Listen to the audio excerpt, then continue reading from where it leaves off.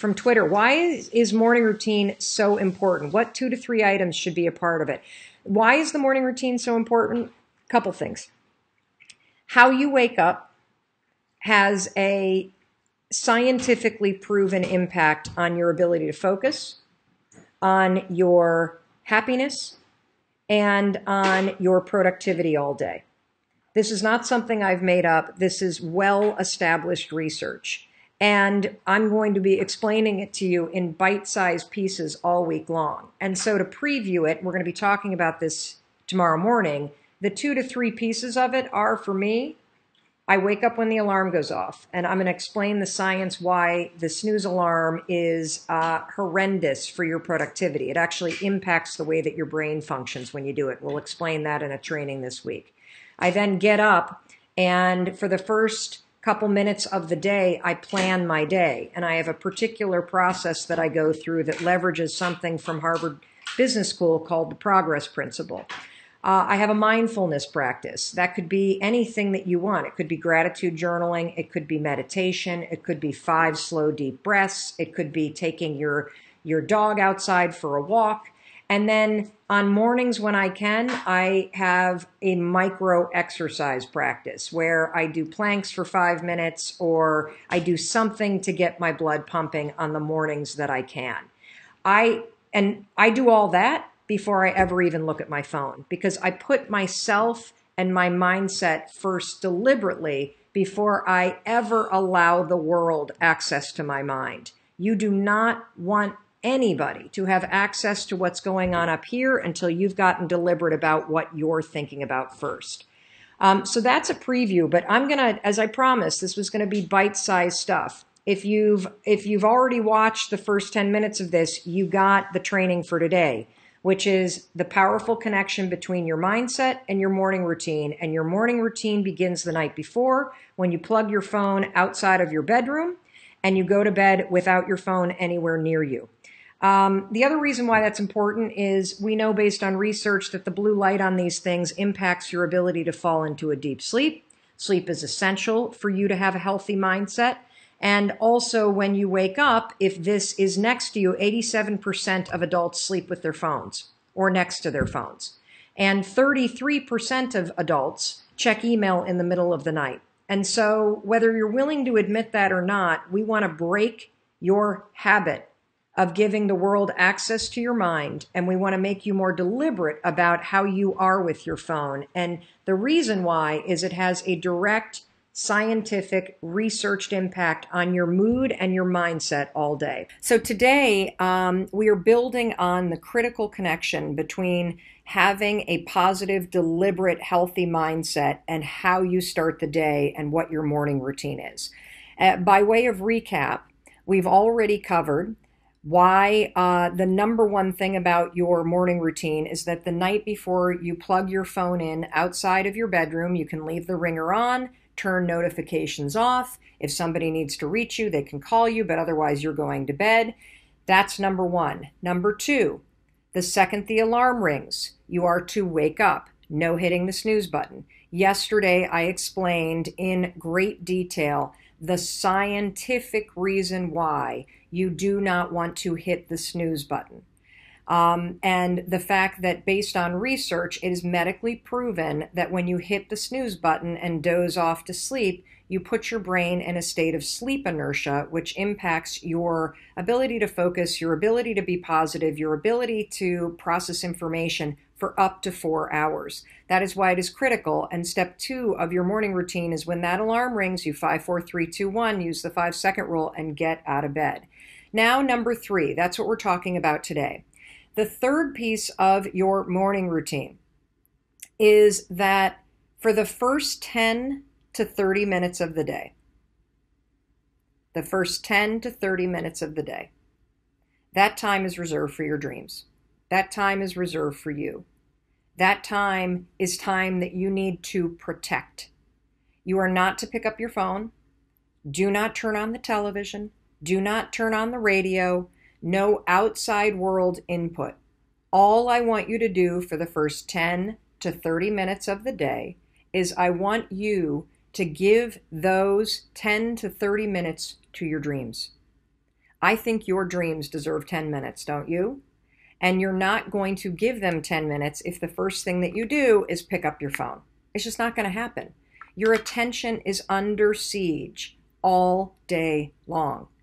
All day long, the world is trying to sell you something, or they're trying to serve up something that's salacious or tempting or curiosity provoking in order to get your limbic system, which is the interior part of your brain, the fight or flight, the part of your brain that's triggered by emotion and fear. They're trying to trick you to pay attention to things that just don't matter to your dreams, to your day to day life, to your family. And that is why it is critical, critical, critical, critical that the first 10 minutes are reserved for you and your dreams. Now, you may be asking, what is it that you should be doing in those 10 to 30 minutes? I'm so glad you asked because I have a gift to give you today. Um, I have developed a journaling method. I'm not selling you anything. Don't worry. I'm actually giving you something for free. I've developed a journaling method uh, that I worked on for the last three years. I've spoken, I, have I've taught it to thousands and thousands and thousands of people around the world, whether I'm teaching it from a stage or whether I've uh, incorporated it into other courses or the other training videos that we've done online. This is a journaling method that I use. It takes less than five minutes. It's backed by science. And what I'm going to do for the rest of the week is I'm going to walk you step by step through the various prompts that I use in the first 10 minutes of my day to anchor my mood on something positive, to focus on the one thing that matters to me today to practice gratitude and to draw boundaries between the things that I need to do and when I need to cut off access to work and when I need to stop working so that I can have a little bit of focus time with my family or with myself for self care, taking care of myself, whatever. Um, the gift that I'm giving you is in the email that's going out today. We are going to give you a link to the PDF of the five second journal. Um, you're going to get one. You're going to get the page that we that I fill out every single morning for free. You can look at it on your phone. You can um, print it out if you want. You can use it. Uh, if you want it, you can of course go to Amazon, but that's not the point of giving it to you. I'm doing these live trainings and I'm teeing up this information because it is so important for you to get deliberate about what you're doing in order to improve your life. And so I want to share with you what I do every morning. I'm going to share with you the science behind it and why I do it and the results that it has created in my life. And I'm going to give you a free template to use so that you can try it out too, so that you can think and be more deliberate about what you're doing. That's the entire point of this. Because the morning routine's only going to work if you make it yours. If you are a shift worker and your morning routine begins at midnight, all of these same principles apply. You need to make them work for you, otherwise, you're not going to do it. And I'm the kind of person that if something sounds too good to be true, I tend to just sort of get like cynical about things and go, I'm not trying that. That's a gimmick. If I understand the science behind it, which is why I explain the science behind why you should never hit the snooze alarm when you need to get up and get going. Um, when I understand the science and the reason and the research behind something, I am convinced to try it. And when I see results in my own life, uh, then I keep doing it. And so, again, today the training is very simple. You're going to continue being deliberate about building a morning routine. Tonight, plug the phone in outside your bedroom Tomorrow morning, when the alarm goes off, you are going to wake up as soon as that alarm gets off. You're welcome to hate me for that. That's fine. 54321, get out of bed. If you're using your phone for the alarm, walk across the room, turn off the alarm. Do not pick up your phone. Do not. Go to a different part of the room. Go to the kitchen. Go to the bathroom. Go to your office. Go somewhere else. Crack open your notebook. The first 10 to 30 minutes are for you. Are for you. If you've got kids that get up really early, wake up 15 minutes earlier than you normally do. So you've got that quiet time in the house for you. In the email that goes out later today, I'm going to put in the email the link to the PDF of the five second journal template. You can also get that at fivesecondjournal.com. If um, for some reason you're not on the email list, get to melrobbins.com slash mindset reset so we can get these things to you. And in tomorrow's post, we'll be sure to upload a link to the PDF so that you can reach it as well. I want to answer a few questions. Um, tomorrow, I'm going to break down the journaling method, which is why I want you to have it in front of you tomorrow morning when you wake up so you can try it so that the training goes along with it. I also want to preview something. Many of you have been asking about whether or not we're going to get into anxiety. You better believe it. Now that our trainings have covered default, the default network in your brain, how to become a deliberate thinker, thinking this, not that, learning how to spot your limiting beliefs and switching gears and choosing what you think about. We're now in the middle of building a habit in the morning that's going to help support you be a deliberate thinker and will also give you control first thing in the morning so that you are in control of what you're thinking about. You've planned your day, you've pushed your dreams forward. That's going to start you out in a totally different way. Then we're going to get into topics like anxiety, depression, how to talk to your kids about anxiety. These are issues and um, mental health challenges that you face when your limiting beliefs your worries and your stress become not only your default, but they start to spin out of control and become the constant way that you think, not just the default that gets triggered. So, we're going to be covering all of that in the coming weeks. This is game changing stuff, but we got to start with the foundational stuff first. Default versus deliberate thinking, thinking this, not that, spotting your limiting beliefs and realizing it's a habit the way that you think that way. It's not the truth. And now building a morning routine so that the way that you wake up, how you wake up, and how you spend those first couple minutes of the day support your mindset changing and give you control through the rest of the day. Before I preview what we're going to talk about tomorrow, let me jump um, into some of the questions uh, that we've gotten. If you've got questions, just put them right down there. Um, tell me, did you take the phone challenge? Did you take the snooze alarm challenge? Did you hate it? Did you? What did you notice? Share with us what's going on because by you sharing your story, you're going to be inspiring other people as well. Even if you failed, so what? You're trying something new. Failing is just as good as succeeding at something because you're learning something. And guess what? Tomorrow morning, when that alarm rings, you get to go for it again. So, shout out to Edith Shaw on Facebook. I wasn't sure if I could actually go to sleep knowing my phone was in another room, but I did. I turned it to silent and went to sleep. It was weird to say the least, and I did find myself reaching for it in the middle of the night only to find it wasn't there. Did you do that too? I know it's a really crazy habit to break because you don't realize how addicted you are. But here's the good news this is what Edith noticed. I really noticed the difference. I had space in my mind to think about my day. I visualized for a few moments. I thought about how my day will unfold. I wrote in my planner, and all felt a lot more peaceful and calm. Deirdre, she accepted the challenge last night, which actually had her get out of bed to cut off the foam alarm. Then she put the phone back down until I was ready to check the news. I was so much more productive and awake before leaving my house to get to the gym. I will do this every day now. I am hammering this stuff because it works. Here's a few more. Amy Robbins on Facebook. You mentioned if you wake up before the alarm, you need to get up. I often wake up early but don't want to get up yet. Am I out of luck and just need to get out of bed? Amy, look, you got to make this work for you. So if you wake up before the alarm and you have a meditation practice where you lie in your bed and you meditate and it works for you, do it. Then get up. What I don't want you to do, Amy, is drift back to sleep because drifting back to sleep causes your brain to go into another sleep cycle, which lasts 75 to 90 minutes. And if you wake up before the 75 to 90 minutes, you've put your brain in a state of sleep inertia, and that's going to impact your productivity for the next four hours and your focus for the next four hours. That's why I don't want you drifting back to sleep. I could never lie in bed. I'm not that kind of person because I will fall back asleep. I hate getting up. But if it works for you as part of your mindfulness routine, your morning practice, to the wake up before the alarm, have a mindfulness practice, and then five, four, three, two, one, get up, don't look at your phone, take the first 10 to 30 minutes for yourself. Fantastic. Go for it. Make it your own. That way, you'll actually do it. Jane Harmon uh, McFarland on Facebook. I start work at 6 a.m. every day, and the alarm is set for 5:50. Do you suggest that I wake up earlier, or can I do dream goal time before bed?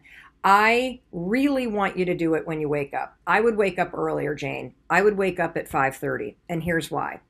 Um, the reason why is I when you wake up, you got a clean slate what I would love for you to deliberately put into your prefrontal cortex, the executive center of your brain, is I would like you to deliberately put how you want your day to go, what's the one thing that matters to you, and one thing that you can do to advance your dreams. Why? If you go back to some of the earlier trainings when we talk about the two modes of the brain and the fact that we all have a default default mode network that acts like a filtering system in our minds.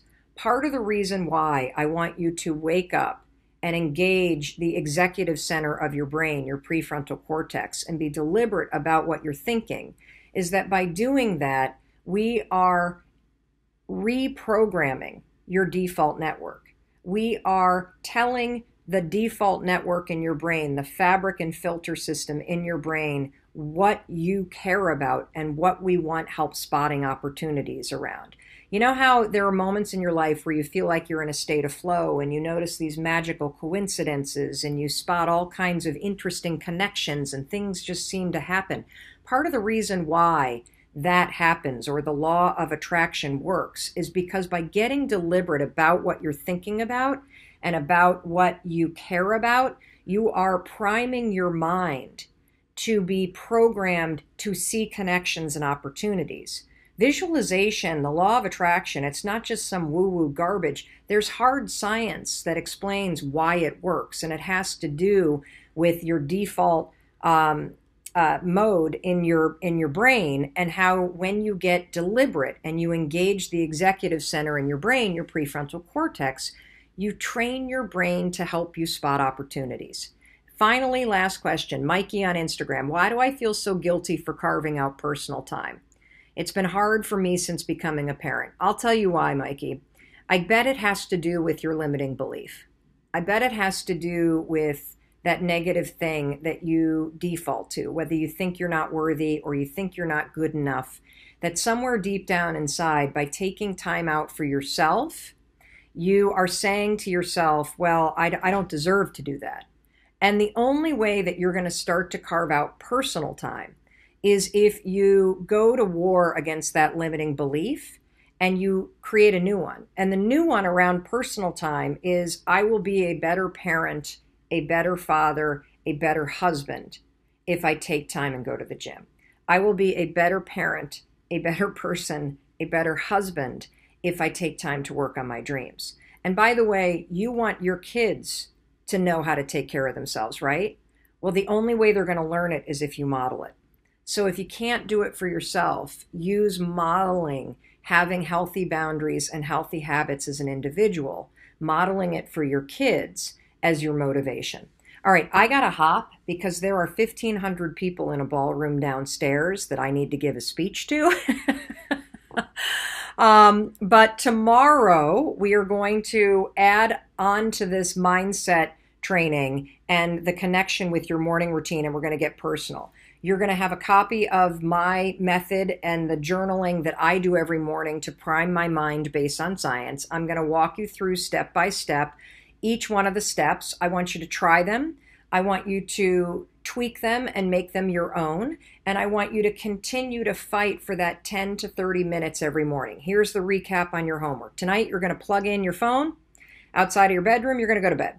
When the alarm rings, you're going to get up. Five, four, three, two, one. No snooze. You're going to turn off the alarm if it's on your phone. And tomorrow morning, you're going to take 10 to 30 minutes, all for you.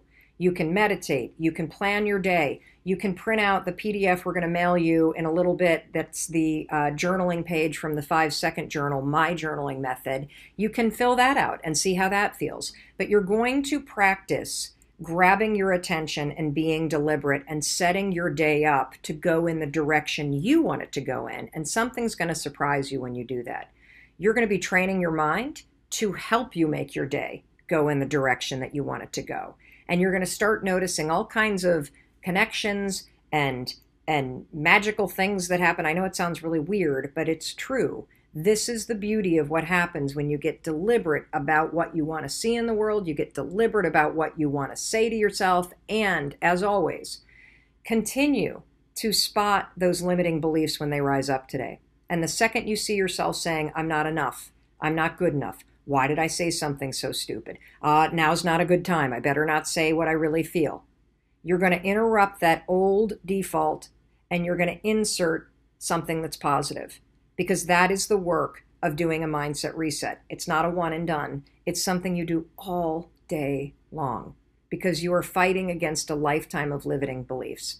All right. Um, what else was I going to say? In case nobody else tells you today, I want to be the one to tell you that I love you and I believe in your ability to make your life better.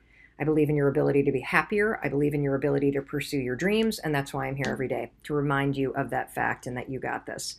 Here's a couple concepts that I want you to think about. First, we're going to talk about globally how I want you to think about being able to focus your attention and get things done. Okay. And this is on a day to day basis. First of all, when I talk about productivity and the ability to focus your attention on a day to day basis, I want you to understand a simple fact. In order to get things done, in order to direct your focus and move through a task, you are going to require some brain power. And so I want you to think about your brain like a, a car engine, right? And a car engine is what you need uh, in a car to power you forward. And your brain is like an engine that will power you forward to help you get tasks done. Now, an engine requires fuel, right?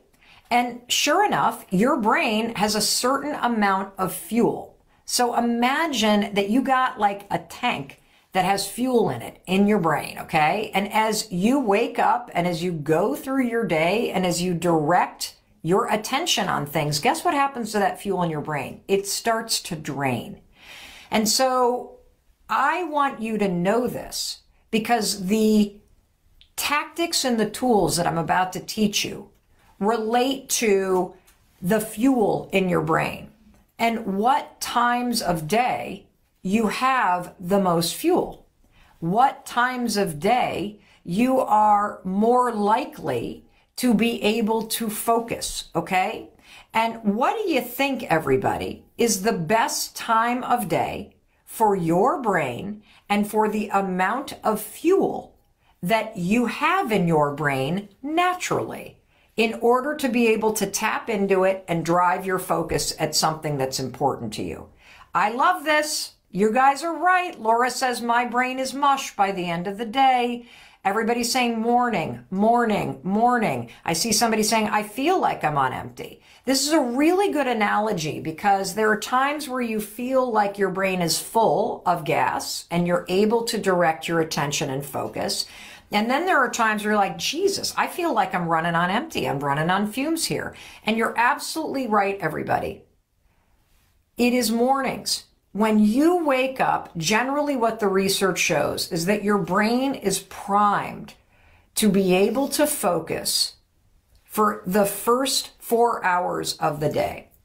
The first four hours of the day tend to be, for most of us, the time of day when your brain has the most fuel and when your speed of processing is awesome and when you are able to direct your attention at what you need to be focused on, okay? So now there's a caveat to this. You can manufacture boosts of productivity and boosts of feeling like you've got a little bit more brain power Number one, immediately after you exercise. So if you have a burst of cardio, 30 minutes is what a lot of the research says. But if you have a burst of cardio, you will get a little bit of increase in fuel. Another thing that helps is getting outside. Getting outside uh, when you start to feel your energy and your focus start to go to empty, getting outside is another way to give yourself a boost of brain power. But generally speaking, everybody, you need to start to marry mornings with peak productivity. Okay. This is true for most of us. There will be some of you that are like, I don't know what you're talking about, Mel Robbins, because I feel like my brain is full at the end of the day. If that's you, because I see some of you going, well, that's nighttime for me. you got to run with that and you got to save the most important stuff for those moments where naturally you feel like you've got the energy and you got the fuel in the tank to be able to focus. So kind of like, you know, you think, what do you think of when I say the word salt? You think of pepper. What do you say? What do you think of when I say the word peanut butter? You probably think of jelly. When I say the word productivity and focus, for most of us, I want you to start thinking morning. And here's why that's important. The reason why that's important is because if you can own your mornings, if you can put that thing that matters to you first thing in the morning and make a little bit of progress on it, you are going to start to feel like you are more in control. You're going to start to see yourself using your best brain power and your highest level of fuel at the thing that matters most to you. So that's a little tip for you about productivity. Try to attack the thing that matters to you first thing in the morning before you jump on your phone, before you answer emails, before you start attacking a to-do list that's full of shit you don't really care about, before you look at social media. Direct your brain when your fuel level is high and your focus is clear at the thing that matters to you. and it's not just because it makes sense that you would want to do this. I mean, the second you look at email, your stress level goes through the roof, your attention gets hijacked.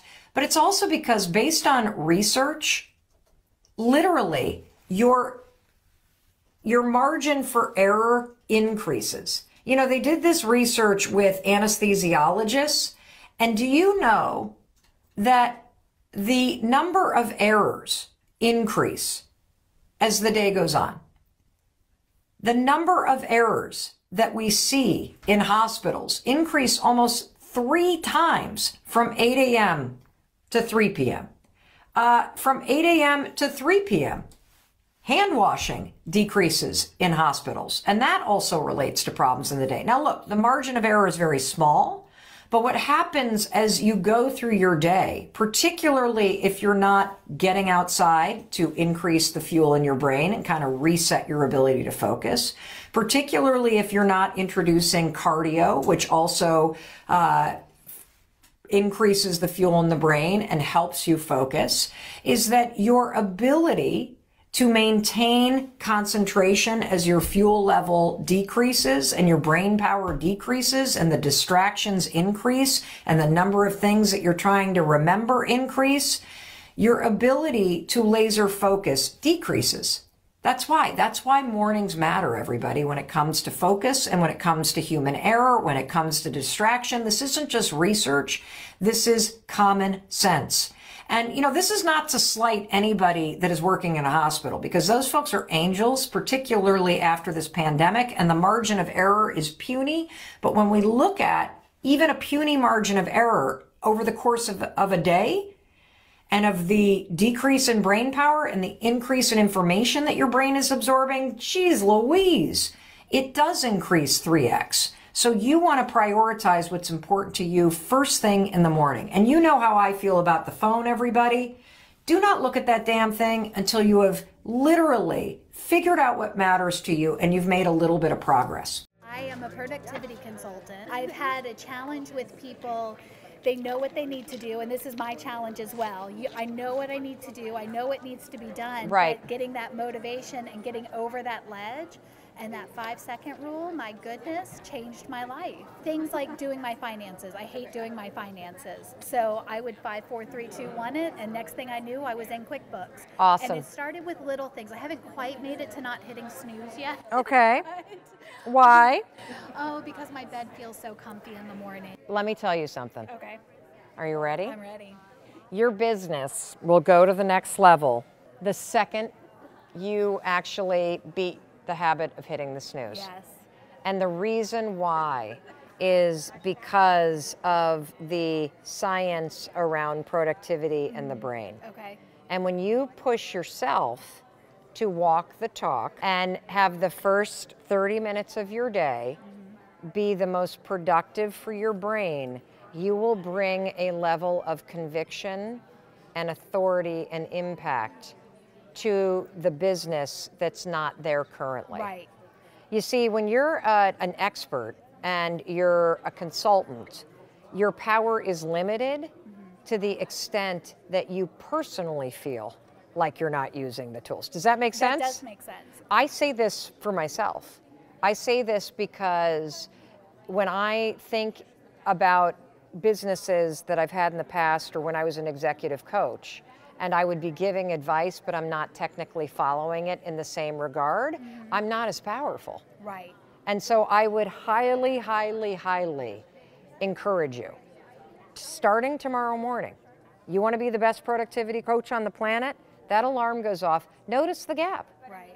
Because the more that you start to play with this five second window and you go five, four, three, two, one, and you push yourself out of bed and you hate it, and then you take your cold shower uh-huh. and you hate it, and then you don't look at your phone and you hate it, and then you spend the first 30 minutes of the day pushing something forward and you hate it, but you do it, you will now be able to coach people who do the exact same thing. Right and that's where I'm coming from in a lot of my business is I've been there. I'm the one I'm one who likes to pile things and procrastinate. Yep. But I know a lot of tips and tricks to get you out of those modes and that's how I help my clients. I'm also trying to move more into productivity. I'm I say I'm a professional organizer and productivity consultant and I organize your space, your time and your technology. Great. Which is a little bit different from most organizers because they're only focusing on their space or the time right. and not the technology. So you can organize somebody somebody's computer, somebody's workspace, mm-hmm. and somebody's home. Yep. That you can do and still snooze.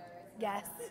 you want to be successful and actually shift people's productivity, you got to do it for yourself right, first. Right. That and so sense. call BS on yourself mm-hmm.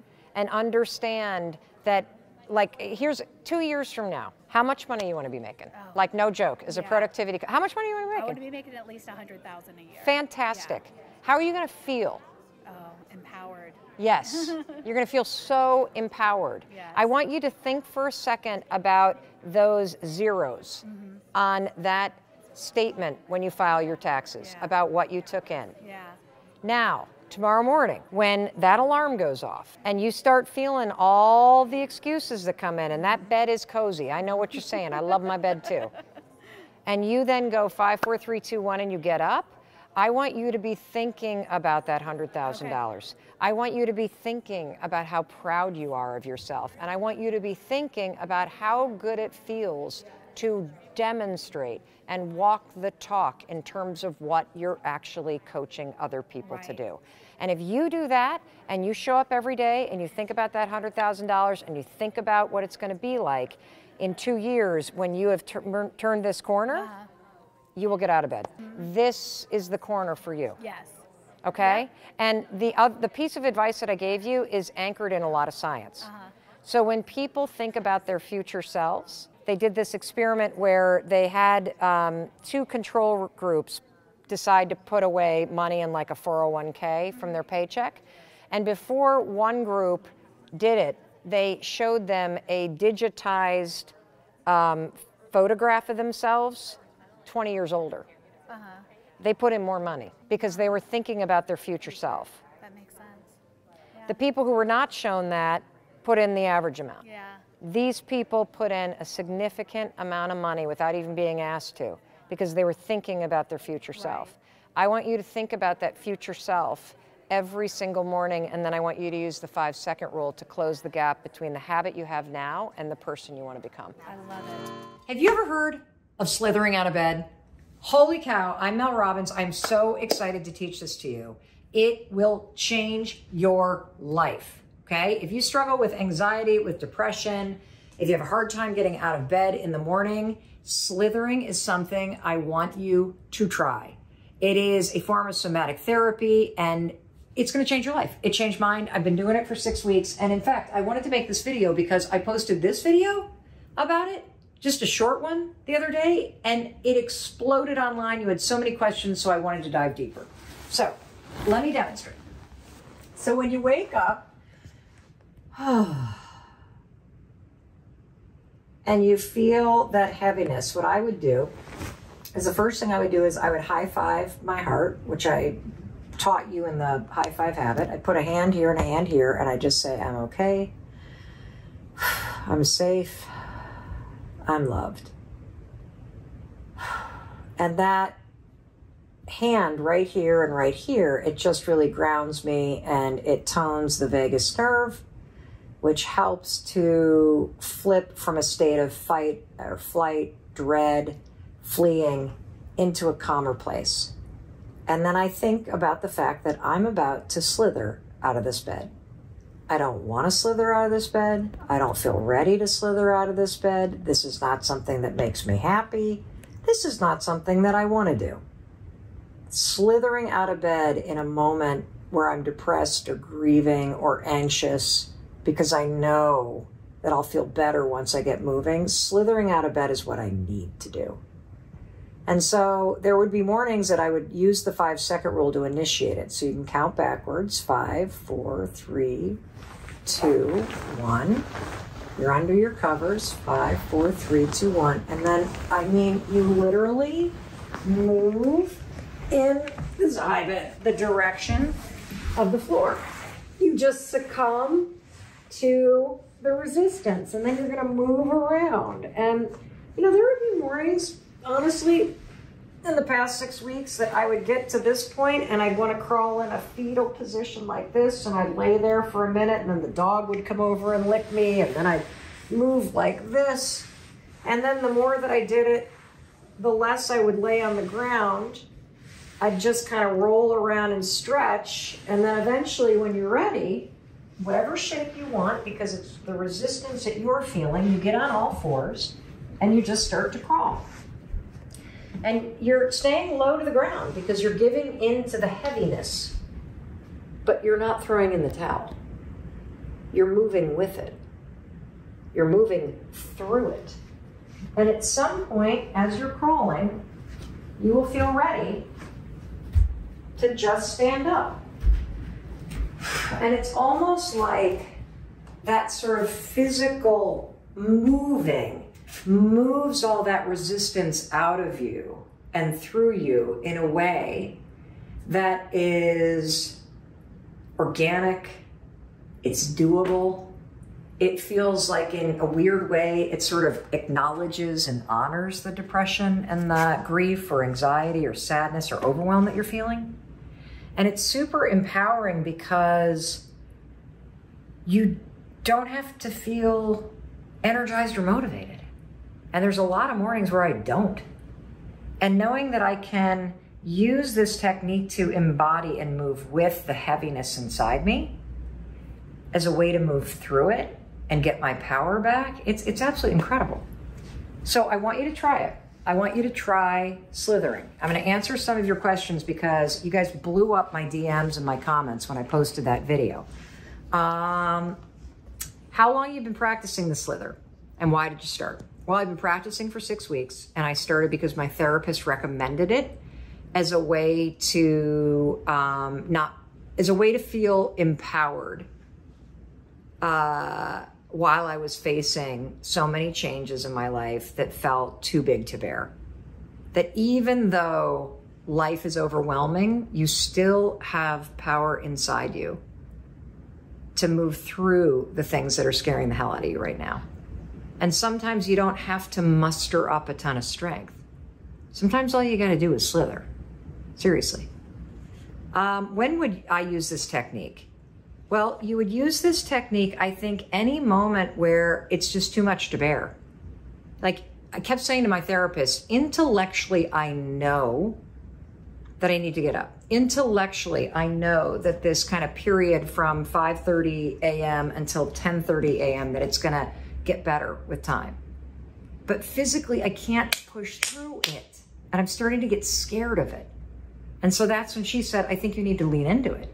I think you need to take an embodied approach. And so I think anytime you feel that way, whether you're on the couch or maybe for you it's not getting up in the morning, maybe you spend so much time at night kind of unwinding from the day that you have a really hard time getting from the couch to your bed.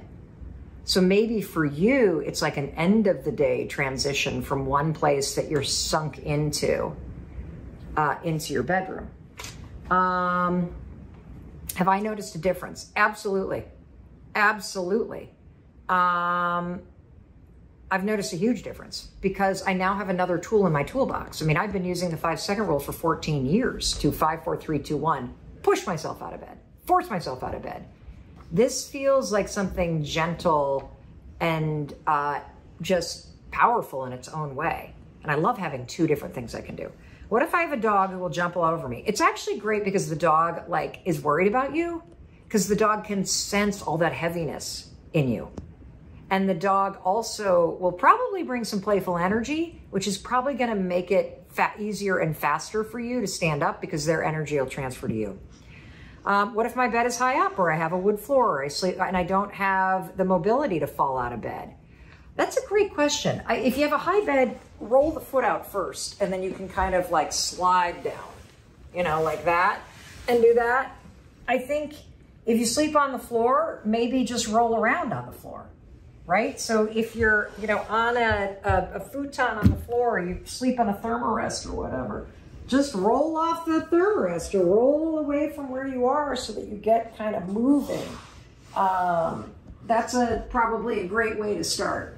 And so whatever the slither or the slide or the embodiment of moving through the heaviness means to you, that's what you want to do.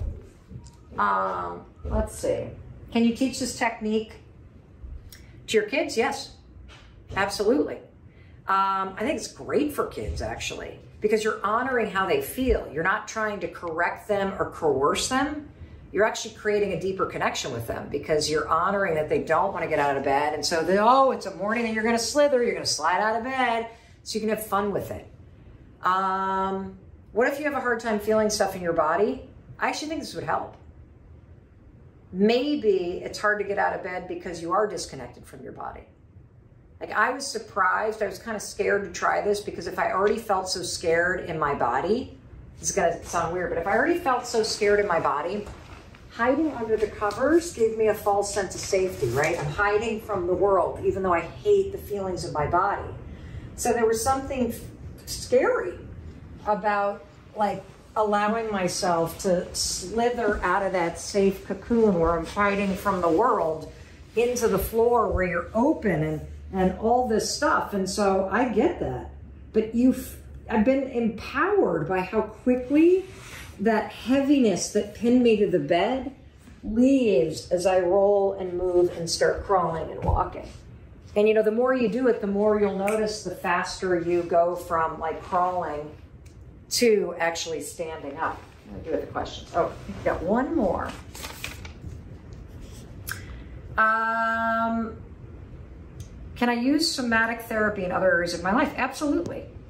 Like I, I, I somatic therapy, I believe, is just using your body as a way to move through things, whether it's meditation or it's deep breathing, or I would imagine that the cold exposure therapy and the ice baths that I do are a form of somatic therapy yoga, um, uh, regardless of what form you practice, Tai Chi, even going outside, hiking, spending time in nature, deeper breathing. Those are all forms of somatic therapy that we all need to integrate more into our day to day life. Number one, work ethic. I'll outwork anybody. Um, I know that the secret to success is not getting it right. It's actually uh, getting after it until you get it done. And um, so, work ethic, work ethic, work ethic. Anything is possible if you are willing to give up your timeline and you're willing to put your head down and put the work in. The second thing is, um, I know that failure and screw ups are a massive uh, part of paving the road to success. Like, you know, I'm not a lucky person that can just study stuff and implement it and then it all works out. I have this deeply personal process that everybody shares, by the way, of studying everybody who does it really well and then implementing their best practices and then tweaking it so that it feels right. And so failures, screw ups, detours, all of it uh, is part of the road to success. The third thing is, and you know, I write about actually all of this stuff in the high five habit. there is this mindset trick that I created that is an entire chapter in the High Five Habit that I created when I was um, launching the Five Second Rule book, which uh, the hardcover book was a huge failure, believe it or not. And um, when we launched the hardcover, uh, it originally uh, we had the bottom line is is that when I launched the hardcover, Evan, the hardcover was not available for sale when my marketing kicked off. Like there was a screw up with Amazon. I started marketing. I told everybody to go buy it, and it read as out of stock. Couldn't even pre order it. It was like out of stock. Huge mix up on my part. I was a self published author. And as my attitude was going down the drain, I literally started saying this thing to myself on repeat. And everybody, you should just steal this. Um, it's like chapter 13 in the book. This moment is preparing me. This moment is preparing me. This moment is preparing me for something amazing that hasn't happened yet. And every single thing in my life that has been a struggle or a hardship or a heartbreak or anything, even losing people I love to the disease of hopelessness and addiction, those moments of going through tremendous grief and heartache prepared me to help other people to do it. And so when you can start to ground yourself in this idea that I never really liked, by the way, Evan, that whole phrase, life is happening for me, because there's a lot of that I didn't, I don't want it. I don't believe it's for me. But there's something about tweaking it like this is preparing me. It allows me to take control of a situation I don't like, I didn't want, I didn't plan for, it's not what I deserve. But if it's preparing me for something, it flips my mindset into this attitude that allows me to endure it and allows me to have perspective that someday I will look back on it and understand the wisdom that I gained from it. And so, you know, the failure of the hardcover with the five second rule prepared me for something all right. It introduced me to my business model that has a huge partnership with Audible. Like the five second rule, because of the failure of the hardcover, became the most sold and listened to audiobook of the year of all of 2017 and opened up a whole new business model. And, you know, which by the way is still bearing out everybody because as the book sells out around the world, it's the audiobook. Like we were the number one selling audiobook in the world last week, number two selling title on Amazon because of the audiobook. And so there's a whole new business model I learned. And so you need to understand that every failure that you have, everybody, it is actually preparing you for something else. That's number three, that sort of attitude. Um, the other thing, honestly, is I've been successful in spite of myself, Evan, because it's only since learning the high five habit that I have been able to truly reset my default thinking and become a person whose default is to cheer for herself. Do I have insecurities? Yes. Do I have self doubts? Yes. But the one thing I don't do anymore is I do not beat the hell out of myself anymore. You see, even all those years, everybody, when uh, my speaking career was taking off, I was literally my biggest critic. It was never enough. It was, well, I kind of, you know, even though the audience is giving me a standing ovation and the clients just hired me to do seven more events, Evan, I'm like, well, God, I really screwed up minute 43. I really blew it that time. Like I was relentless with myself. And there's a difference, everybody, between having a level of excellence in what you do and high standards, which I know Evan has a level of excellence in what he does. And he also marries his process with excellence. But that's very different than relentless self criticism you know what I mean? And and what happens with relentless self-criticism, self-hatred, self-doubt, all of that beatdown is that number 1, you slow down your progress. Number 2, you miss opportunities. Number 3, You uh, lose inspiration and motivation because everything is a grind. Number four, you have no joy in what you're doing because you are singularly focused on finding stuff that's not going right. And number five, you literally will never be happy and content because you're not allowing yourself to celebrate and empower yourself for all the things you're doing right, which only creates more positive momentum. And it was the high five habit, something I created by mistake in April of 2020 that completely changed my habits, my attitude. The reason why this is the most successful thing I've ever done is because I'm different. Uh, using the high five habit, I've asked for help. I've I've gotten out of the insecurity of needing to do it all myself. I'm enjoying the process of it, even though it's kind of a show behind the scenes. Like this is um, just the greatest gift in the world because it changes how I experience my life. And that's the biggest thing, everybody. That's the final takeaway in terms of success and why most of you don't have the success you deserve because you're too hard on yourself. You are focused on what's not working instead of celebrating what is. You're beating the hell out of yourself every day, which is demotivating. If you want to be more successful than you could ever imagine, you must read the high five habit. You must start to put these practices in place. You must start to see the good. You must start to flip your attitude when it's going down. And you must, must, must be able to use the tools in here to become somebody that is supportive, encouraging of yourself. I love it. And, and just to speak to your willingness to ask for help as well as just the work ethic, uh, back in Napa, w- one of our field trips was to go hot air ballooning. And uh, you and I are both afraid of heights. it's like, okay, I, we're in the we're in the same balloon together. And it was like a half hour, 45 minute ride to get there. And and Mel's sitting next to me and uh, we're in this little van and she pulls out her notebook. He's like, okay, Evan, tell me everything that's wrong with my YouTube channel.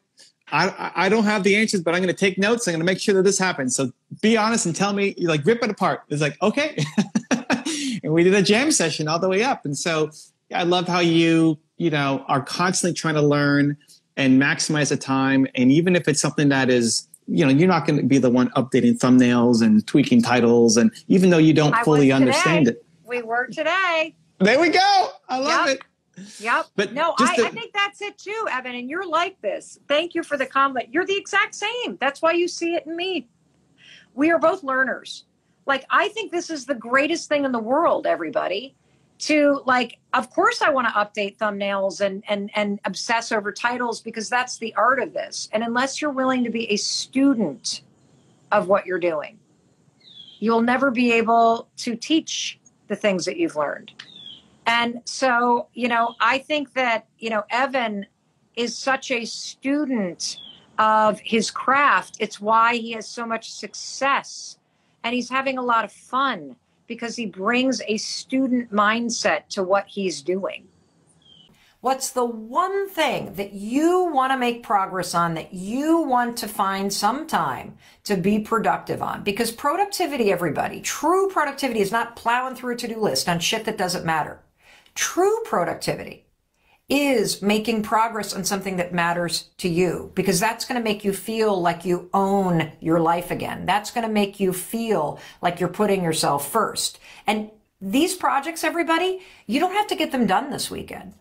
You just need to identify, make a plan for what's the most important thing. I want to get my sister's SSI paperwork completed for her. I would love to spend more time with my son. I would love to work on my YouTube channel. Amazing. Amazing, everybody. I would love to remember to high five myself in the morning I see somebody. I'd love to spend time on my job search.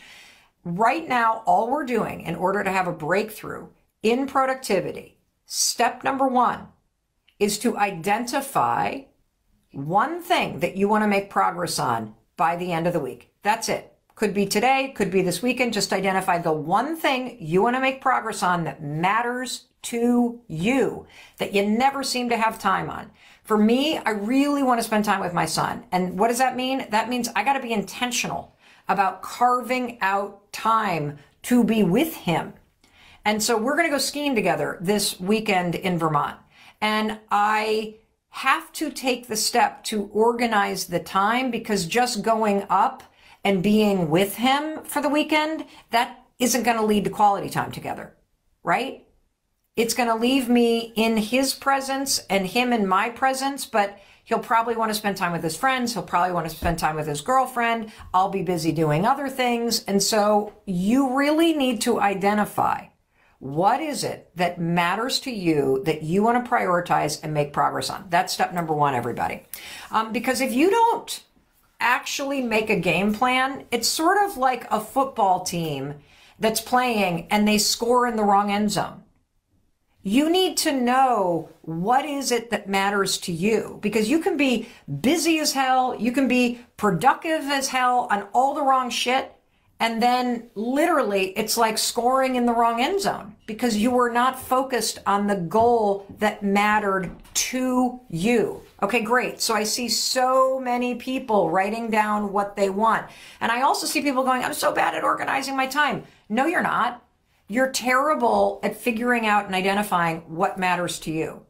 Because the fact is, everybody, based on research, if you end every week feeling like you made progress on one thing, just one thing that matters, and notice I said progress, not that you got it done, that you just spent some time and you just pushed yourself forward a little bit. If you, based on the research, end every week going, wow, I made a little bit of progress on something that mattered to me. The book I want to write, the YouTube channel I'm trying to start, the job search I'd like to do, researching trauma patterns in relationships so that I can show up better in my relationships, uh, finding a therapist, spending time doing that. Whatever it is that is the most important project for you personally, identify. Step number one. Number two, focus on progress. So part of the reason why you don't feel productive is because you're trying to complete everything. And so let's take one of the things that I saw somebody write that you want to uh, clean up one of the spare rooms in your apartment or in your house. That maybe there's a spare bedroom and you have been wanting to turn it into a home office. Or maybe one of the kids has moved out of the house and you want to declutter that room, like in a project around organizing. Maybe it's something in your garage or your basement. Or, hey, here's one for me. Uh, our daughter moved out and started her life. Uh, you know, post college, and our other daughter is uh, out in Los Angeles going to college, and we, no joke, have three garbage bags full of clothes that somebody needs to go through to figure out what needs to be donated, what could you actually sell because it still has tags on it. And it has been sitting there for two months. So maybe you have a pile of that kind of stuff in your house. This is not a priority for me. I'm perfectly fine with it sitting in the room where our laundry is. The priority for me this week is to carve out dedicated time to hang out with our 16 year old son and do something fun together because we spend a lot of time together but we don't get intentional about doing something specific. But if you want to declutter, for example, here's where we all go wrong. You identify what you want to do, and then you think you got to get it done. In order for me to go through two bags of clothing, for example, in order for you to clear out your garage, that could take you two days to do it the right way, right? Because, you know, if you don't give yourself enough time, then you're going to piles. And so then you think, I can't get it done. And so then you never schedule it, right? Okay. We're not going to worry about completion, everybody. We're going to worry about progress. So when you think about things in terms of progress, it can shrink the amount of time that you need. Maybe all that you're going to do is you're going to work on one dresser in the room, or you're going to work on one shelving unit in the garage. And by simply making the time to, number one, identify what matters to you, and number two, identify what meaningful progress could look like. You will now shrink the amount of time, you will define the project, and you can make the time for it. And simply just doing that is going to make you feel more productive based on the research. All right, now let me talk about um, what you need to do. Okay, I literally have notes for this. Oh, there we go. And I just lost it because I really want to make sure that I teach you all this stuff.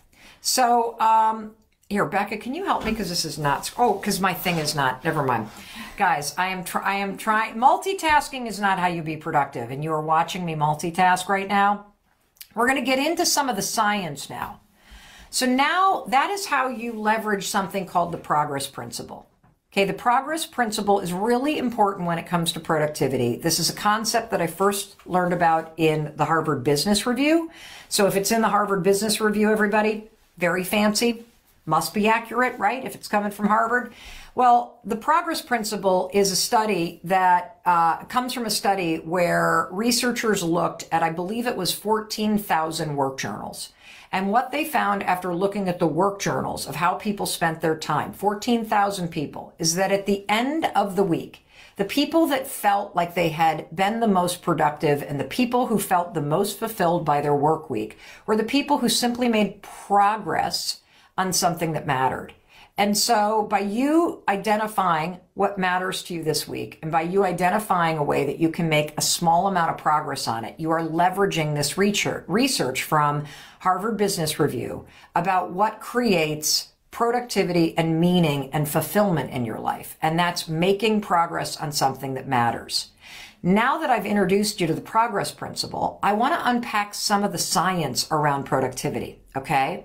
So that you can also bring what research says about what productive people do to leverage brain power to be more productive. Ready? Everybody ready? Okay, good.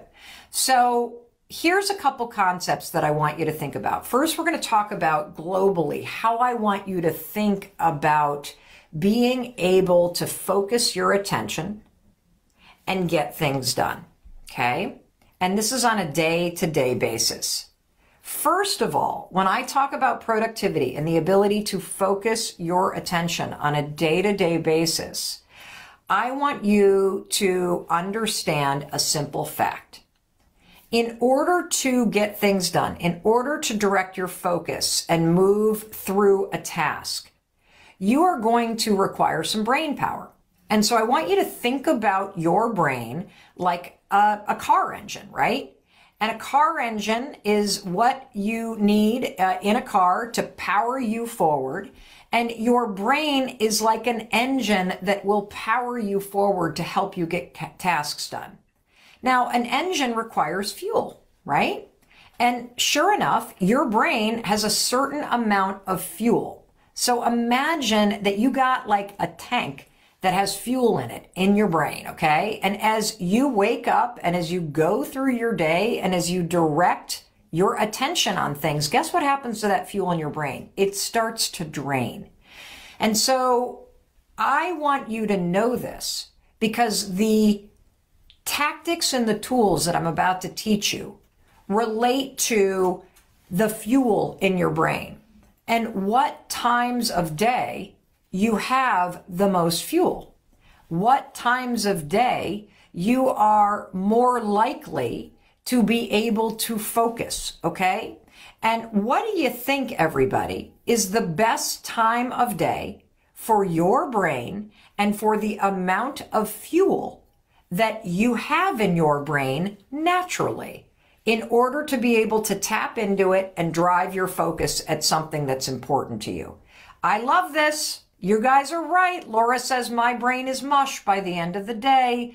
Everybody's saying morning, morning, morning. I see somebody saying, I feel like I'm on empty. This is a really good analogy because there are times where you feel like your brain is full of gas and you're able to direct your attention and focus.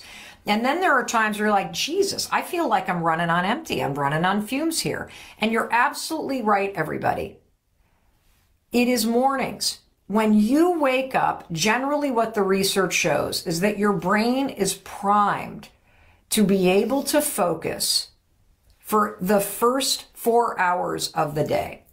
The first four hours of the day tend to be, for most of us, the time of day when your brain has the most fuel and when your speed of processing is awesome and when you are able to direct your attention at what you need to be focused on. Okay.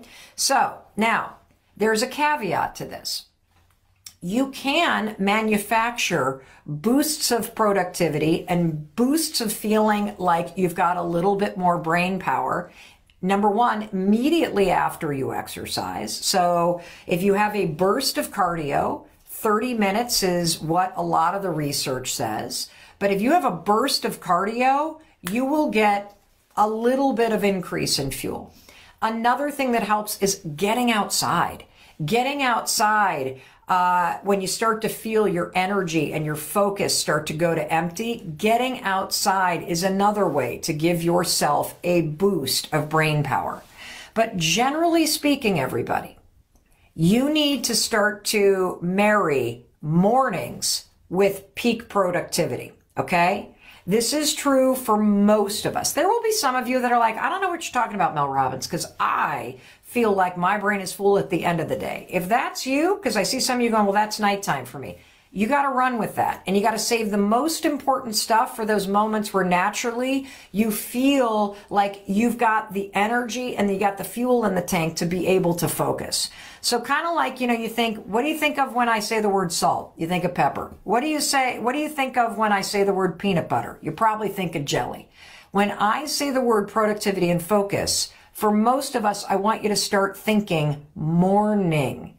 And here's why that's important. The reason why that's important is because if you can own your mornings, if you can put that thing that matters to you first thing in the morning and make a little bit of progress on it, you are going to start to feel like you are more in control. You're going to start to see yourself using your best brain power and your highest level of fuel at the thing that matters most to you.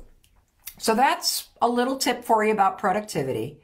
Try to attack the thing that matters to you first thing in the morning before you jump on your phone, before you answer emails, before you start attacking a to-do list that's full of shit you don't really care about, before you look at social media direct your brain when your fuel level is high and your focus is clear at the thing that matters to you. and it's not just because it makes sense that you would want to do this. I mean, the second you look at email, your stress level goes through the roof, your attention gets hijacked, but it's also because based on research, literally your your margin for error increases. You know, they did this research with anesthesiologists and do you know that the number of errors increase as the day goes on?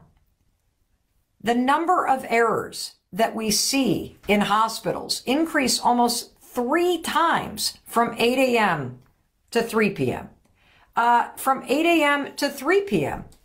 Hand washing decreases in hospitals, and that also relates to problems in the day. Now, look, the margin of error is very small, but what happens as you go through your day, particularly if you're not getting outside to increase the fuel in your brain and kind of reset your ability to focus, particularly if you're not introducing cardio, which also uh, increases the fuel in the brain and helps you focus, is that your ability to maintain concentration as your fuel level decreases and your brain power decreases and the distractions increase and the number of things that you're trying to remember increase, your ability to laser focus decreases. That's why. That's why mornings matter, everybody, when it comes to focus and when it comes to human error, when it comes to distraction. This isn't just research. This is common sense. And, you know, this is not to slight anybody that is working in a hospital because those folks are angels, particularly after this pandemic, and the margin of error is puny. But when we look at even a puny margin of error over the course of, of a day, and of the decrease in brain power and the increase in information that your brain is absorbing, geez Louise, it does increase 3x. So you want to prioritize what's important to you first thing in the morning. And you know how I feel about the phone, everybody. Do not look at that damn thing until you have literally figured out what matters to you and you've made a little bit of progress. Now, to end, I want to give you two other really cool tips based on science uh, that is going to help you with something that is also a problem right now when it comes to productivity. I believe that right now, the single biggest barrier to you being able to focus on what matters to you is Zoom fatigue. Seriously, you are online all day. You're probably on video conference calls all day. Give me a heart or a hand in the comments, everybody. If you're like, I can't get work done because I'm always on freaking video conference calls all day. Okay? I can't get anything done. I feel like I am a Zoom zombie at this point. How many of you feel like that? Like, holy smokes, I'm a Zoom zombie at this point. The number one thing that is zapping your ability to focus and to concentrate is video conference calls and being online all day.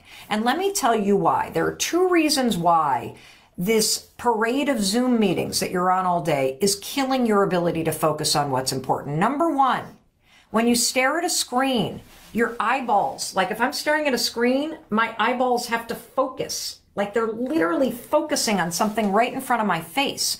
And when you have to focus on something really in front of your face, it drains your mental fuel and it makes you feel tired.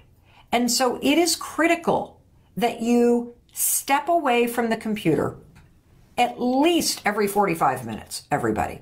So every 45 minutes, what the research suggests is you need to step away from the computer or the phone or get off that Zoom conference and step outside, number one. Even just open up a freaking window if you're in your apartment and look and like get the fresh air. And second thing you need to do is stare off into the horizon allow your eyeballs, like it's almost like they're twisted super tight when you have to focus something that's right here. When you step outside and you stare off at the horizon for just five minutes, it's like your eyeballs untwist, your brain relaxes, the fuel picks up a little bit, and that's a simple trick that's going to help you uh, with the fatigue that being online all day is causing. The second tip that's going to help you with focus, everybody. Turn off your frigging camera. Sure, start the meeting, say hi to everybody, and then it is okay to say, hey, everybody, I'm going to turn off my camera because I, under, I, I really feel like I concentrate better. And here's the truth. The truth is you will concentrate better because if you stare at yourself on camera all day, this part of your brain, your prefrontal cortex engages and it's hard for you to drift into kind of autopilot. If you and I are in a meeting, you're drifting in and out of paying attention because you are able to absorb information through all five senses. When you're in this two dimensional space and you have to stare at your own face, this part of your brain engages and it drains fuel faster. That's one of the reasons why Zoom fatigue is real. Zoom fatigue is draining your focus because number one, your eyes are having to really focus. It's like they're twisting really tight because you're right close up. Number two, you're staring at yourself half the time, which makes this part of your brain, your prefrontal cortex, pay attention, and that drains your fuel faster. So the quick fix is turn off your camera. You are allowed to do that. You are adults here. Just tell people, I'm just going to turn off my camera because that way I notice I don't get a headache and I'm able to concentrate more. And every 45 minutes, step outside, take a deep breath with the fresh air, let the nature make your senses come alive, and for five minutes, just stare off into the horizon. And here's one other final tip. It is perfectly acceptable, particularly in this hybrid environment, for you to take your calls, especially if you're able to turn your camera off, outside while you're walking. If you're moving while you're listening to a conference call, your fuel level is going to rise, your heartbeat is going to go up, the outdoors is going to activate your senses, and it's a way for you to increase your focus and also be working. There you go. Three simple tips to combat Zoom fatigue, to increase the fuel and your ability to focus in your brain. All of this stuff is research back tools that uh, you can use immediately. You're getting the external success, but inside, you are eating yourself up mm-hmm. with worry, right? Mm-hmm. Then we fast forward, let's say nine, ten years. Uh huh. April 2020, you are successful Yeah. speaker, motivational coach, you know, best-selling uh, author, and you're struggling with self-doubt in front of the mirror. So, is there this slight clash here somewhere where actually you can be successful and not love yourself and be racked with self-doubt? I think everybody is. Yeah. I don't, success is not the source of self love. In fact, most people who are successful or competitive or entrepreneurs, most people are chasing that success because they have married their self worth with achievement. Oh I- And I was the same. Yeah. And so, right there. Me too. And so, this is, by the way, evidence that you have a problem with self rejection Yeah.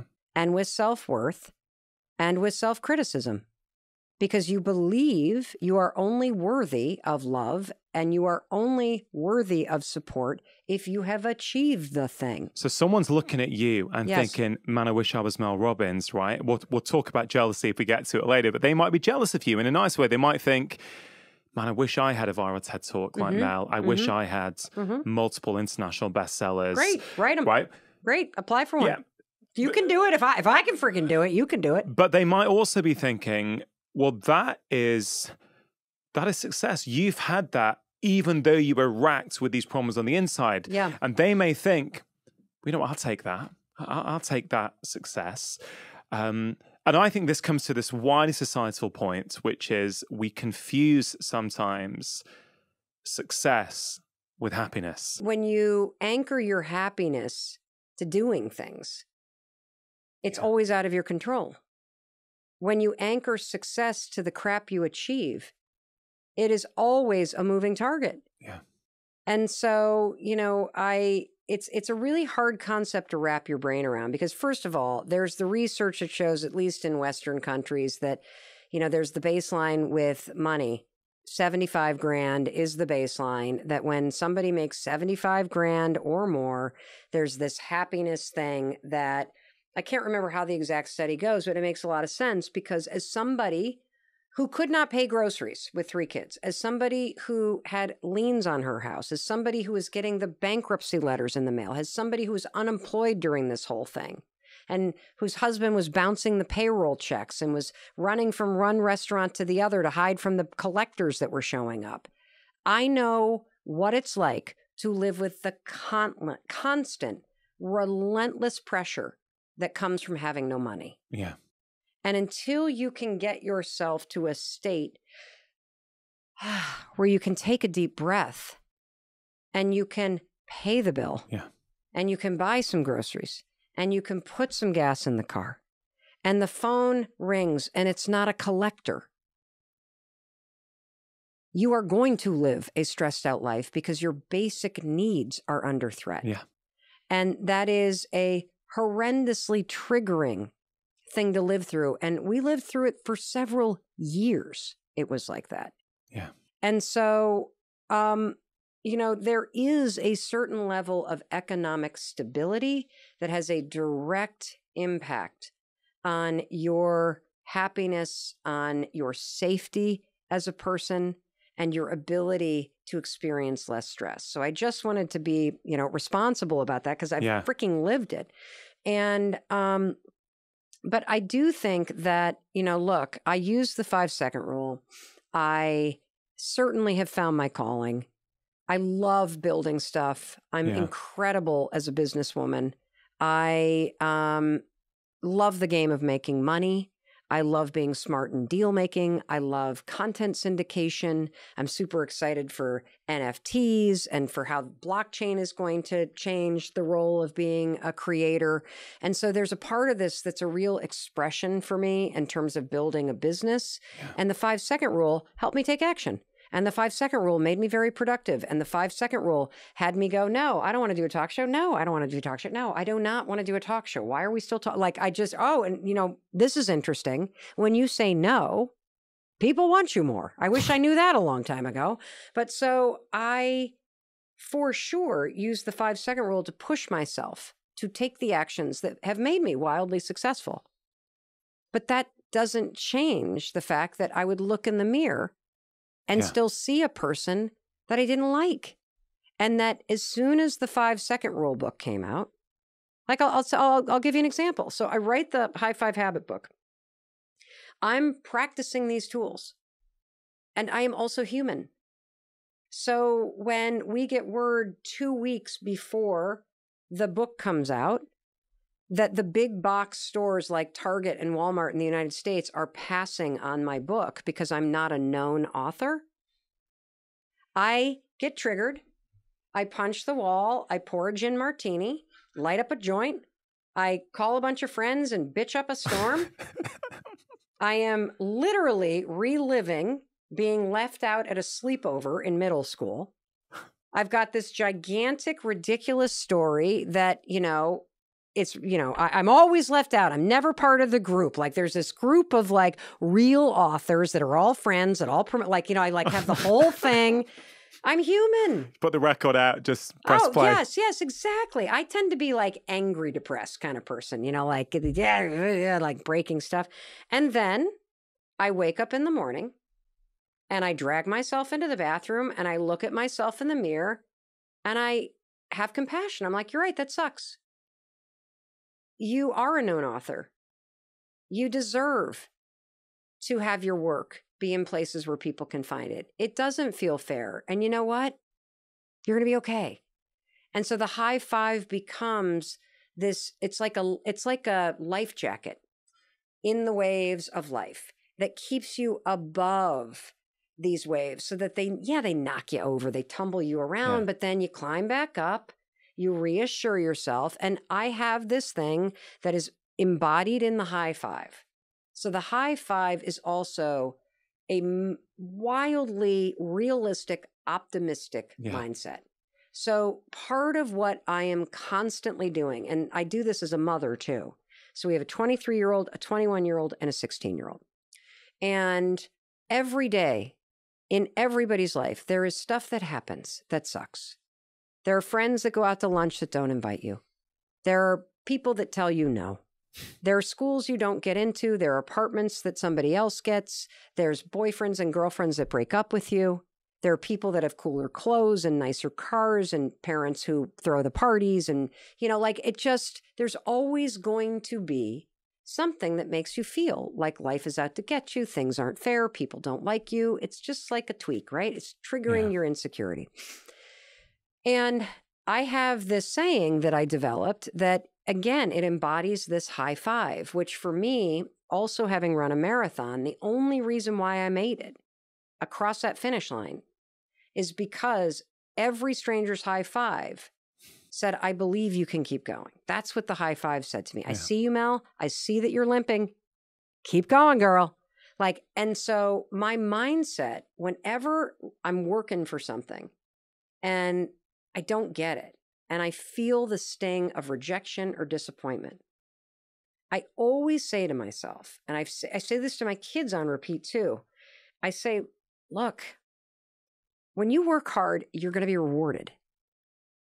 You have to believe that this moment is preparing you for something better, that you didn't get this thing because something better is coming. And, you know, so there have been a couple of those. Like, for example, the High Five Habit audiobook is unreal. I mean, I record it. It is the number one selling audiobook on all of Audible ever since it's been out in terms of the number of downloads in one month. Like it's just destroying it. And I know you don't like that word, but it is destroying audiobook. It has been reported in the AP. It has been reported in all these places. It Wow. is in the charts, number one. And we are destroying it on the Amazon charts because people are reading it and loving it and sharing it. And I freaking love it because it tells me like the, you know, that the tool is spreading Yeah. because my books like your books are just vehicles for ideas to get Yeah. out so then people can talk about them and obviously i put all this stuff online for free anyway so if you can't afford the book you're listening to this podcast like you're gonna get but so the new york times puts out a um uh, a monthly audiobook list i self-published the audiobook and in the back of my mind i was saying don't get your hopes up mel don't get your hopes up You're not a publisher. You're a self published author. They're very fancy over there. And so the audiobook list came out for the month of October. I clearly destroyed it. Like I'm clearly the audiobook. We don't even make it. Like a complete and utter intentional snub. That was another night where I punched a wall and drank a couple martinis and lit up a joint and called a bunch of friends and felt really sorry for myself. And the next morning, I literally high fived myself in the mirror. It took about four mornings of high fiving myself to get over that sting because it felt personal. But I kept saying something better's coming, something better's coming. Do you know? I figured out the better thing that's coming.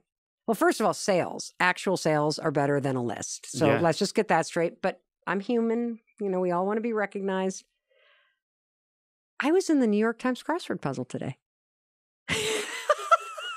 Today. yes. Isn't that not crazy? Another high five. I literally, it is the coolest thing. That's cooler than being a New York Times bestseller, I reckon. Uh, don't you think? Yeah, I think it is. So I, It's a smaller club. I'm literally getting off the train and my text messages are blowing up from mates from the United States. And they've screenshot this and it says literally a three word down on the New York Times. And it said, um, motivational speaker Robbins. And it was me. Oh, And you know what it was that that that made me so just blown away is that I underestimate the fact that people know who I am. I think that I am a person who has really screwed up a lot. And for a very long time, I have lived inside a body that was racked with anxiety and fight or flight and doubt and judgment. And it has been really hard to live in this body. Yes, I've been high functioning. Yes, I have still gotten okay grades. I've gone to great schools. I've had friends. I've been married for 25 years, but it has been a real bitch to live with this much unedgedness, Yeah. this much stress, this much self imposed condemnation, this constant, relentless drumbeat of what's wrong and someone's mad at me and I've screwed up again, and just constantly feeling like nobody likes me and I can never do it right and it's all never going to work and just this just this grinding feeling that when I finally started to attack the anxiety and understand it. When I finally started dealing with the childhood trauma that created a dysregulated nervous system in the first place when I finally understood what was going on and came face to face with the woman in the mirror, and I started getting help and finding a new way because I didn't want to continue living a life where I felt that stressed out and that anxious and that worried, and where the constant just noise in my head was negative. Now, through the five second rule, through EMDR and psychedelic guided therapy, through n- traditional talk therapy, through the high five habit and practicing that since April of 2020, I have a totally different experience of being alive. And if I can save anybody the headaches, the heartaches, the struggles that I have been through, that I now realize that you have very simple tools at your disposal that you can use to move the needle on the things that are making you feel anxious and stressed and unhappy and just constantly on edge, that you can come back home inside yourself and reconnect with your true nature.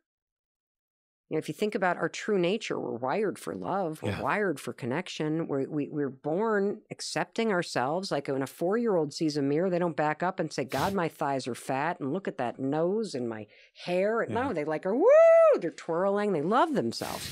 That's your true nature. yeah. That's why a high five from a stranger feels amazing because it cuts down to the core of who you really are a person who deserves to be seen, a person who deserves to be celebrated. And it begins with you. Yeah, it's so powerful, Mel. Um, as you were describing your different experience of life now, you're still successful mm-hmm. as you were, mm-hmm. but you're you experience it differently.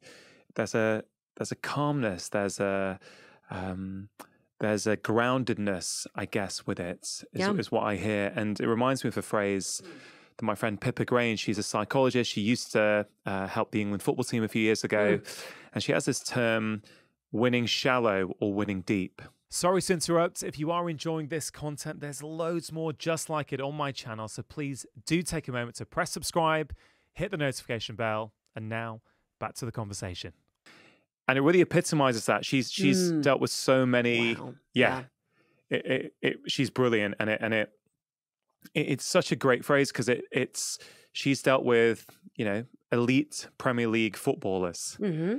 and um, you know they've been walking up the steps to win the trophy. And on the inside, they're feeling nothing. They thought from a young age, from the age of eight, I'll keep training, I'll keep training, I'll get for a big club, we'll get into the cup, we'll win it. Because they thought, like many overachievers, that actually winning that medal, getting that number, getting that job, getting the house, getting the car would make them happy. But it doesn't because it's an inside job. And that's where I think this high five habit, it's not going to change everything, but it makes everything much easier. You know, you've still had therapy. Like I feel someone who, um, let's say they've got childhood trauma. Yeah, I do. Everybody does. And who doesn't really? Yeah, everybody does. Yeah. On, on some level. And they it's too hard for them to even address it and mm-hmm. actually go and see someone. Well, yep. the high five habit, I think, is your way in. Oh, of course. Yeah. My youngest just left the nest last night. I'm day one of empty nesting. How do I figure out what my project or plan should be when I have no idea where to start? Here's the interesting thing having no idea where to start is never an excuse not to start somewhere. So for my perfectionists who I love out there, who think there's a right way to do this, give that up. You can start anywhere you want. So if you're an empty nester and you're creating a whole new life, just start with what's one thing you're curious about exploring? Just one. What's one class you've already always wished you could take? What's one um, subject matter you've always wanted to learn more about? What's one charity that you've always thought you should volunteer at? And then move from thinking about it to taking action and doing it. Go from being a looker to a booker. Instead of thinking about volunteering, sign up to volunteer once. Sign up for one online class. Sign up for one cooking class. Um, sign up for one bridge class. Uh, make one meeting with one friend to start talking about the next chapter of your life. Buy one book about second acts and just get started.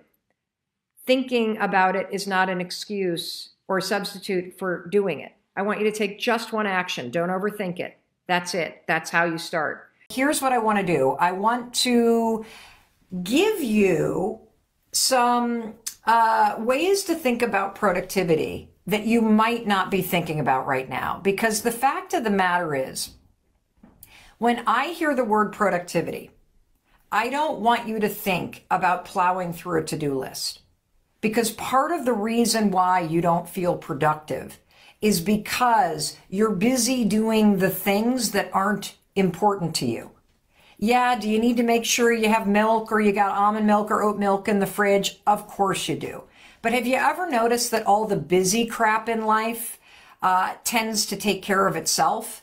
That you don't really need to focus your time and energy on the minutia that's on your to-do list because that stuff tends to grab your attention. What you really need to do is figure out how to create time and how to create the focus that you need in order to feel like you are making progress on the important things. And that's really what productivity means to me. You get all kinds of stuff done. You're really busy in your life, aren't you? But are you getting progress made on the important things? Probably not. because that's the challenge for most of us. And so, first things first, when it comes to trying to have a breakthrough in productivity, you need a game plan. You need to have a very short list every week of what actually matters to you. Okay.